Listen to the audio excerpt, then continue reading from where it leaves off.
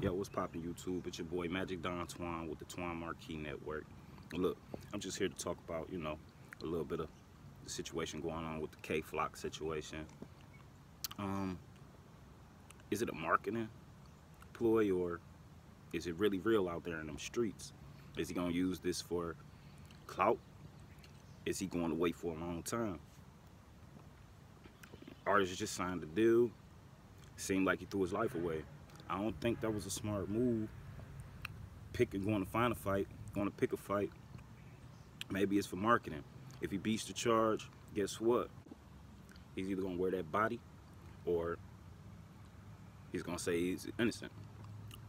But if he beats the charge and it does fall in self-defense category, is he gonna claim that body in self-defense or is he gonna fight and say, hey, it wasn't me?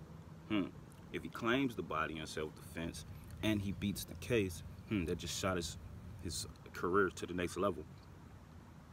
I mean, hey, is that what we doing all this for? Is it for clout? Is it for the music? Are you just trying to get on? Are you just trying to get money? Hmm, we don't know. Uh, obviously, his presence is real in the streets, as far as I can see, as far as everything is, you know, presented to us on the internet.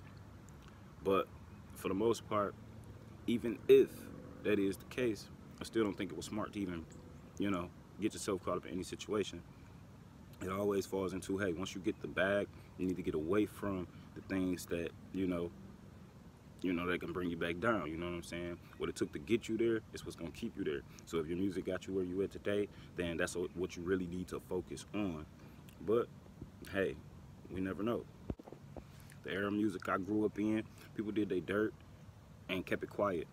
Even if they did kind of subliminally put it in a track or you know, you still kind of didn't know. They had to have an investigation. These days, everything is so, you know, visual. Everybody has cell phones, there's cameras everywhere. So, you know, but at the end of the day, me and my girlfriend, we sat up and we was watching Hello Yasin, and he kind of shed some light to where, you know, they say that, you know, uh, the dude walked away, the victim walked away from um, Kay Flock, and Kay Flock shot him in the neck and in the back.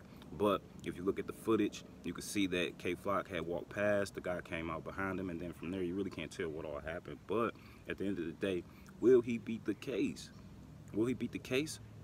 There's no race. He's already got caught, you know. So no take K action, but you know, Kay Flock, I'm hoping the best for you, man. If you can beat the case, dog, beat the case, stay out of the way.